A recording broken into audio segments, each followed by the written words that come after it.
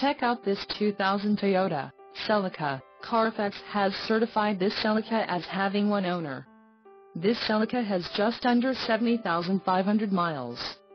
This vehicle gets an estimated 23 miles per gallon in the city, and an estimated 30 on the highway. This Celica boasts a 1.8-liter engine, and has an unspecified transmission.